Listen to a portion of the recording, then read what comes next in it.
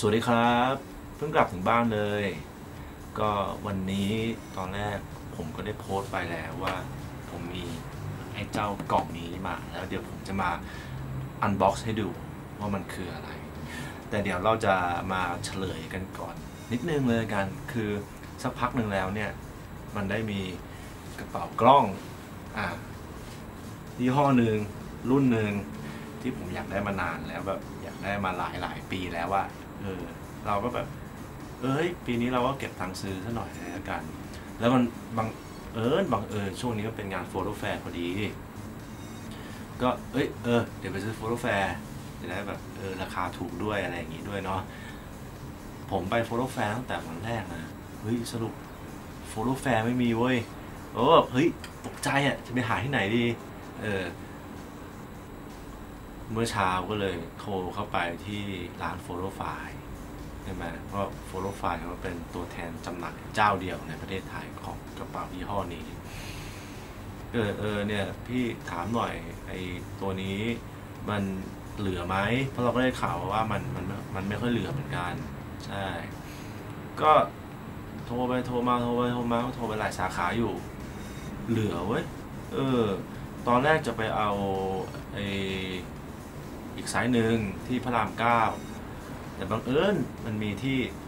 เซ็นทรัลบางนาด้วย แต่แบบเมื่อเช้าอยู่ใกล้เซ็นทรัลบางนาไงเออเราก็เลยโทรไปหาพี่วัดอ่าพี่พี่วัดโฟโต้ไฟล์นั้นบางนานะใช่ก็ถามเออพี่มี messenger ไหมบอกเฮ้ย messenger ติดงานอยู่ เราก็ไม่ติดอะไรไงเราบอกเออพี่เดี๋ยวผมโอนตังค์ให้ แล้วเดี๋ยวผมสั่ง grab bike ไปเอาของแล้วมาส่งให้ผมก็บอกโอเคเลย แล้วก็ grab bike ก็ไปเอาของให้ผม แล้วก็มาส่งของให้ผม ที่ผมอยู่ก็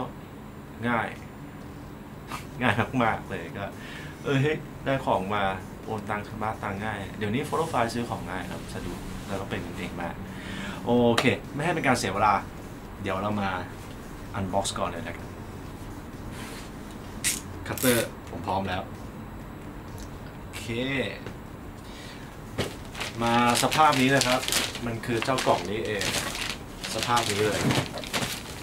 กล่องใหญ่มากจริงๆ โอ้ นี่นี่ถุงไซส์ใหญ่ที่สุดของ Photo Fair เลยนะอันนี้เราโยนไปก่อน โอ้แพ็คมาอย่างดีครับ ใช้ได้เลย ตรงนี้ก็จะมีติดข้อมูลบริษัทอยู่เพราะอันนี้เป็นสินค้านำเข้า ใช่ ข้อมูลบริษัท ชื่อสินค้าอย่างนี้ อันอันนี้อันนี้เป็นชื่อตัวสินค้านะติงต้องครับติงต้องอของติงต้อง เดี๋ยวเรามาเริ่ม unbox กันเลยแล้วกัน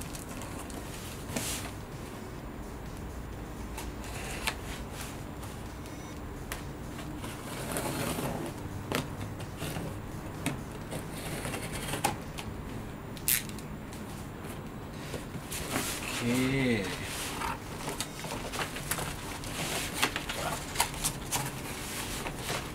ก็จะเป็นกล่องกระดาษ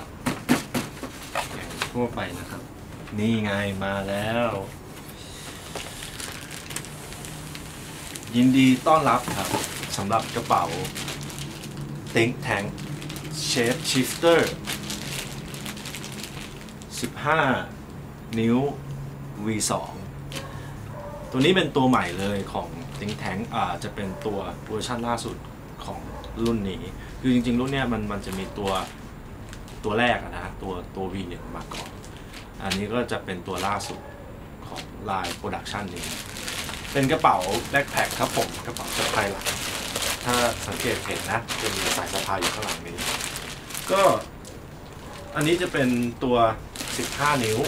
ก็สามารถใส่แล็ปท็อป 15 นิ้วได้ MacBook Pro 15 นิ้วอันนี้ใส่สบายเลยจริงๆมาเดี๋ยวเรามาแกะพลาสติก กันก่อนเลยละกัน เนื่องจากว่าเขามัดอยู่เราก็ไม่ต้องใช้คัตเตอร์นะครับเดี๋ยวเก็บถุงไว้ใช้ทันทีแล้วก็มี silica gel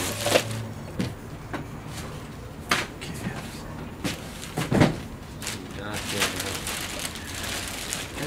กระเป๋าออกมาแล้วครับ โอ้โห อลังการงานสร้าง ของ โปรดเลยครับ นี่ไง Shape Shifter V2 Backpack Series Think Tank นะครับ ตัวรุ่น 15 นิ้วนะอันนี้หลังจากที่เราแกะซองพลาสติกมาแล้ว เราก็จะอินกับกระเป๋าอยู่สักพักหนึ่งเลย คือส่วนตัวผมก็เป็นแฟนติงแทงมา นานนะครับแท็กข้างหน้ากระเป๋าก็จะมีบอกถึงรุ่นอื่นๆใน Backpack Series อย่างซีรีส์เนี่ย ที่เป็น Chef Shifter ครับ มันจะมี 15 นิ้ว ตัวนี้กับ 12อะไม่ใช่ดิ17 นิ้วอะมันก็จะใหญ่กว่าตัวนี้อีกหน่อยหนึ่ง แล้วมันจะมี 17 นิ้วอีกตัวหนึ่ง เขาเรียกกันว่าเป็น naked naked shape shifter เดี๋ยวมันแตกต่างกันยังไงกับตัวที่ไม่ไม่มีคำว่า naked เดี๋ยวผมจะมาบอกนไหมนี่มีอีกแท็กหนึ่งเขาบอกว่าใช้ zip YKK RC Fill Zipper โอเคว่ามันน่าจะเป็นซิปที่ดีที่สุดในโลกแล้วก็จะไม่มีปัญหากับการใช้เลยสัมผัสกระเป๋าดูดีมากครับ ดูดูดูแข็งแรงมากอะแล้วข้างๆตรงนี้ ก็จะเป็นคล้ายๆเพาใส่กระบอกน้ำครับผมใช่แล้วแล้วก็ข้างในก็จะเป็นตัวกันฝนนะครับตัวกระเป๋าเองเนี่ยก็กันละอองน้ำในระดับหนึ่งถามว่าตากฝนได้ไหมก็ได้ระดับหนึ่งอะแต่ไม่ใช่แบบชุ่มน้ำอะไรขนาดนี้ ในส่วนของข้างหลังอ่าเรามาดูที่สายสะพายก่อนเลยกัน สายสะพาย นิ่มมากครับ คอมเมนต์จากเมืองนอกที่ผมไปอ่านบล็อกเกอร์ที่เขารีวิวกระเป๋านี้มาก็แบบว่าเออ Think Tank อะได้รับ feedback ที่ดีมากเลย แล้วก็อันเนี้ยเป็นสายสะพายหลังที่ทุกคนบอกว่าดีที่สุดตั้งแต่เคยได้สะพายมา ก็แบบมันเหมือนเป็นแบบฟองน้ำด้วยแล้วก็มีสายคาดหน้าอก ตรงนี้ก็มีห่วงเหล็กเกี่ยว ปรับขนาดความยาวอะไรอย่างนี้ได้หมดเลยครับ กิมมิคตัวเนี้ยที่ที่ผมชอบมาก ๆ เลยอีกอย่างหนึ่งเนี่ย ก็คือ ตัวเนี้ยมันจะสามารถที่จะไปกับกระเป๋าเดินทางลอล่าคุณได้ เพราะว่าตรงเนี้ยอะมันจะสามารถเสียบเสียบไอตัว handle handle กระเป๋าเราลากอะครับ ได้เห็นไหมมันก็จะเสียบอยู่อย่างนี้ สบายเลยครับ อันนี้ก็จะเป็นช่องใส่นามบัตรแบบโชว์ถึงความเป็นเจ้าของอะไรเงี้ยเผื่อเผื่อเราวางกระเป๋าทิ้งไว้ แล้วเราลืม อันนี้ก็แบบเออใส่นามบัตรไว้นะบอกว่าเออเนี่ยถ้าเจอติดต่อเราอะไรอย่างนี้ได้ข้างล่างนี้ก็จะมีเป็นตัวคาดเอวอะครับ ทีเนี้ยอันนี้เป็นอีกฟังก์ชันหนึ่งที่แบบเฮ้ยมันก็เป็นไฮไลท์เหมือนกันนะ ก็คือว่าจากที่เราทราบคนดีคือ Think Tank ก็จะมี belt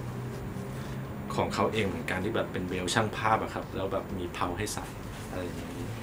อันเนี้ยถ้าถ้าเราไม่อยากใช้ตัวนี้ เราก็สามารถที่จะเก็บไว้ข้างในได้ เก็บไว้ข้างในเนี่ยครับ ตรงนี้มันเป็นช่อง แล้วก็เราสามารถใช้ belt ของ Think Tank เองเลยเนี่ย มาเสียบเข้าไปตรงนี้นะซึ่งจริง ๆ มันไม่จำเป็นต้องเสียบเข้าหรอกครับ เพราะว่าตรงตูดของกระเป๋าเนี่ย มันก็สามารถเปิดเสียบได้เออ ก็แบบใส่ belt ของ Think Tank เองได้เลย ก็เลยผมผมก็เลยรู้สึกว่าตัว product ของ Think Tank เนี่ยเขาออกแบบมาให้เป็นเอ่อ universal compatible กับตัวสินค้าในเครือของเขา คือเหมือนแบบเป็น หุ่นยนต์ transformer ในยุคที่เป็นการ์ตูนอะไรอย่างเงี้ยที่สามารถแบบหลาย ๆ ตัวก็สามารถ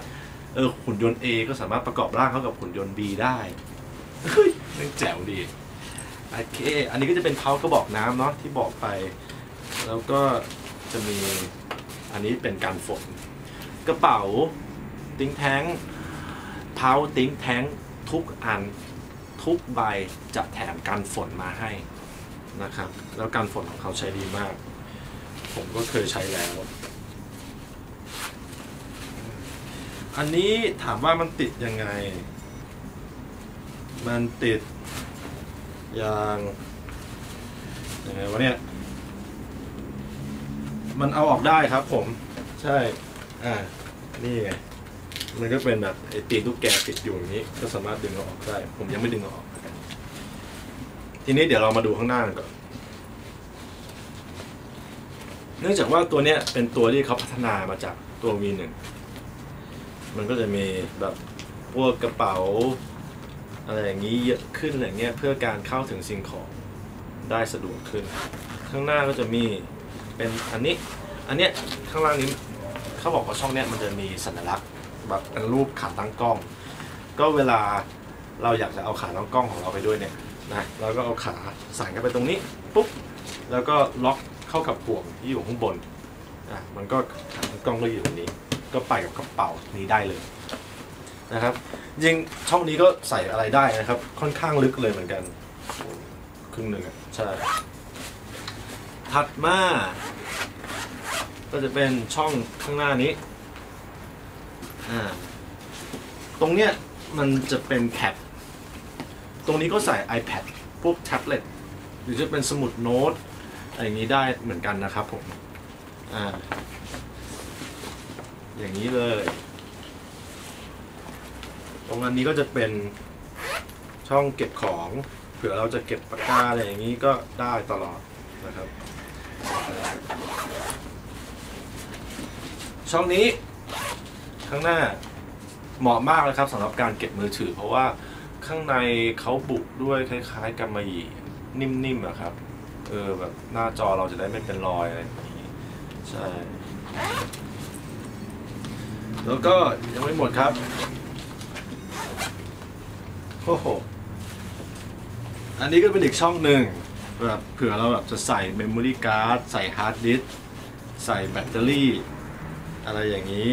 และอันนี้ก็จะเป็นในคล้ายๆที่เอ่อที่เอาไว้ติดกับ ตัวซองเก็บ memory card นะครับ สามารถติดได้หรือว่าจะติดกับพวงกุญแจอะไรอย่างนี้ก็ได้ครับ เออเผื่อเรากลัวหายอะไรอย่างนี้ก็ติดไว้นะครับ เพราะว่าอันนี้จะมันจะอยู่กับกระเป๋าตลอด เหมือนกันครับตรงนี้ก็จะมีช่อง เป็นช่องซิปเปิดปิดได้อ่านี่ไง อันนี้ก็เอาไว้สำหรับติดเข้ากับตัวขาตั้งกล้อง เวลาเราเอาขาตั้งกล้องเนี่ยมาเก็บไว้ตรงข้างหน้ากระเป๋าเนี่ย เราก็จะเอาติดกับห่วงพวกนี้ห่วงตรงนี้อ่าเพื่อให้มันติดอยู่กับตัวกระเป๋า ไม่ให้มันแบบเออเหวี่ยงอะไรอย่างนี้ ก็ค่อนข้างที่จะเป็นการออกแบบที่รอบคอบ ยังไม่หมดนะครับ ข้างในช่องนี้ผมเจอเอ่อ instruction menu ที่แบบว่า เออเฮ้ย มันทำอะไรยังไงได้บ้าง นะโอเคเก็บใส่ช่องเลยก่อนแล้วก็จะมีเเล่มเล็กๆ เล่มนี้ ก็คล้ายๆเป็น โอ้โอเค อันนี้เป็น product catalog ก็เป็น catalog สินค้าของ Think Tank นี่คือจะไม่จบใช่ไหม มันจะไม่จบที่ใบนี้ใบเดียวใช่ไหมอะ ไม่เป็นไรเเรื่องนั้นเดี๋ยวค่อยว่ากัน โอเค เดี๋ยว ผมจะมาแสดงกิมมิคของใบนี้ให้ดูแล้วกัน กระเป๋าใบเนี้ยเป็นกระเป๋าที่ดูแบนมากครับ มันเลยมีคำถามว่า เฮ้ย แล้วมันจะเป็นกระเป๋ากล้องได้ไงอะ เพราะใส่กล้องไปใส่เลนส์ไปอะไรอย่างเงี้ย ใส่ของใส่นู่นใส่นี่ใส่นั่น มันน่าจะหนากว่านี้นะ แต่ใบเนี้ยมันมันสามารถขยายขนาดของมันเองได้ โดยข้างๆครับเขาจะมีซิปใหญ่ ซึ่งพอเรารูดซิป หมดเลย ปุ๊บ มันก็จะขยาย ได้อีก เยอะเลย ซึ่งตามสเปคแล้ว ซึ่งตามสเปคแล้ว รู้สึกว่ามันเพิ่มมาอีก สามนิ้วสามนิ้วใช่ ความหนาจะเพิ่มขึ้นมาอีกสามนิ้วนี่เห็นไหมเพิ่มขึ้นมาเลย เออแบบมันมันเหมือนมันแปลงร่างได้มันขยายร่างได้โอเคแล้วพอเปิดมามันก็จะมีซิปอีก อันเนี้ยเป็นเป็นเป็น main compartment เป็นช่องเก็บของหลัก แต่เดี๋ยวเรามาดูอันนี้แล้วกัน มันจะมีซิปอันนั้นคือซิปอันหลังสุด ก็จะมี tag ติดอยู่ว่า fit 15.4 inch laptop ก็คือว่าสามารถใส่แล็ปท็อปได้ถึงขนาด 15.4 นิ้วเลย แล้วข้างหลังก็จะเขียนว่า for more info ให้ไปที่เว็บเขาได้นะ อะไรอย่างนี้สำหรับข้อมูลเพิ่มเติมอ่านี่เราเปิดอันนี้ได้อันนี้ก็จะเป็นช่องเก็บ laptop tablet อะไรอย่างนี้ครับผม บุหนามาก หนามากจริง ๆ ตัวนี้ก็หนา ตัวนี้ก็หนา โอ้โอเค safe ครับ ผมมั่นใจว่าเซฟ MacBook Pro ได้เลยครับแล็ปท็อปผมเองก็ 15 นิ้วครับเออมันเลยเป็นเหตุผลว่าทำไมผมถึงซื้อตัว 15 นิ้วโอเค เดี๋ยวเรามาดูไฮไลท์ไส้ในตรงนี้พร้อมนะครับ and and oh yeah โอ้ มีใบนี้แถมมาด้วย อันนี้ก็จะเป็นใบโชว์แบบว่า เออ มัน มันใส่อะไรได้ แล้วมันจะรูปร่างหน้าตาเป็นยังไงอะนะ ใบนี้เก็บไว้ก่อน ใช่แล้วครับ พอเปิดออกมา ข้างใน มันก็จะเป็นเพาอย่างนี้เลย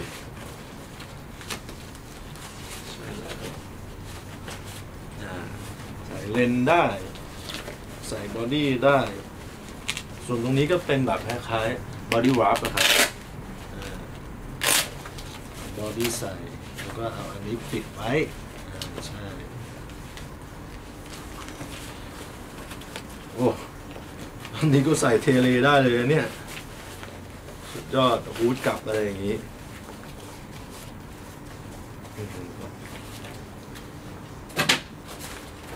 ส่วนในอีกฝั่งหนึ่ง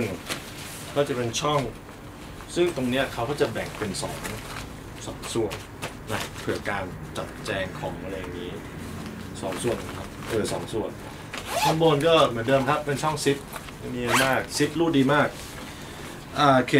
กลับไปที่คำถามเอ่อที่กลับไปที่ผมได้พูดในตอนแรก เรื่องที่ว่า เอ้ย แล้วตัว 17 นิ้ว Naked มันแตกต่างยังไงกับตัวนี้อะ เออทำไมถึงมี 17 นิ้ว 2 ตัว แต่อันนี้ตัว 10 ตัวนี้ 15 นิ้วนะ คือตัว Naked 17 นิ้วเนี่ยไออย่างเงี้ยอย่างเงี้ยมันจะไม่มี มันจะเป็นอ่ามันจะเป็นคล้ายๆแท็บเส้นเส้นเส้นเส้นเส้นเส้นแล้วจะเป็นช่อง คือตัว 17 นิ้วเนี่ยเขาออกแบบมาให้ใช้กับเพาของเขาเลยที่เขามีขายแยกอยู่แล้วครับ คืออย่างเพาอะเวลาเราใช้อะเพาติงแทงอะมันก็จะเสียบ เข้าไปตรงรูใช่ไหมเข็มขัด แล้วก็ปิดไอตีนตุ๊กแก เหมือนกันตัว 17 นิ้วมันก็จะเป็นแถบแล้วก็เป็นช่องช่องช่องช่องช่องก็คือว่าเราสามารถที่จะคัสตอมตัวอินเนอร์ partition ได้หมดเลย อันนั้นคือไฮแลนด์ตัว 17 นิ้ว 17 นิ้วขายถูกตัว Naked Shape Shifter 17 นิ้วขายถูกกว่า 15 นิ้วตัวนี้อีกนะครับ คือหลักๆก็คือเพราะว่ามันไม่มีไซส้ในตรงนี้ แต่โอเคไม่เป็นไรตอนผมหาได้แค่นี้ผมก็ดีใจมากเลยครับผมอโอเค ตอนเก็บก็อะคือมันมันมันใส่ได้เยอะมากกว่าแค่กล้องและเลนส์นะ ก็คือว่าคุณสามารถจะใส่แบบพวกเสื้อผ้าอะไรอย่างนี้ได้เลย คืออย่างไปประชุมอะแล้วเราก็แบบเอออยาก ผื่อติดกล้องไป เผื่อตอนเย็นประชุมเสร็จแล้วเราอยากจะถ่ายรูปบ้าง กระเป๋านี้ก็ไม่ได้ดูน่าเกลียดเลยครับ ดูดีมากด้วยดูแบบเป็นแบบมืออาชีพอะไรอย่างนี้ แล้วมันก็ไม่ได้แบบตะโกนว่าเอ้ยนี่เป็นกระเป๋ากล้องนะเว้ยมาขโมยกล้องกูได้ มันก็ไม่ค่อยนะครับ มันดูแบบคล้ายๆแบบเป็น business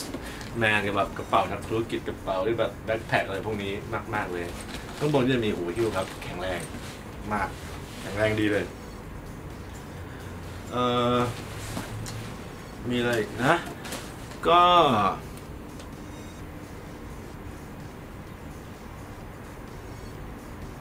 อืม อ่า มาพูดถึงเรื่องวัตถุดิบเลยละกัน เขาบอกว่าตัว exterior เนี่ย ตัวข้างนอกเนี่ย มัน durable water repellent DWR coating คือเคลือบสารกัน น้ำนะกันระดับหนึ่งนะ แล้วก็เป็น poly polyurethane coating อ่าใช่ 600D to view อันนี้น่าจะเป็นไอวัตถุดิบตัวผ้า10 YKK ไนลอนเว็บบิ้งนี่ครับส่วนส่วนข้างในอะที่เปิดให้ดูแต่เมื่อกี้ก็เป็น polyurethane เหมือนกัน back linear and divider นะครับ โอ้ ดูแล้วใช้ของดีหมดเลย ใช่ อ่า นี่ไง บนเว็บเขาก็บอกมาว่าในกล่องอะกล่องตะเกียที่ได้ดูในตอนแรกๆในวิดีโออะเขามีอะไรบ้างก็บอก in the box เนี่ยนะ ก็จะมี seam seal rain cover กันฝนที่อยู่ในนี้ tripod attachment strap อ่าไอตัวติดกับขาทั้งกล้องที่อยู่ข้างในนี้ แล้วก็ water bottle pouch water bottle pouch คือตัวนี้ครับ ใช่สำหรับใส่พวกกระติกน้ำอะไรอย่างนี้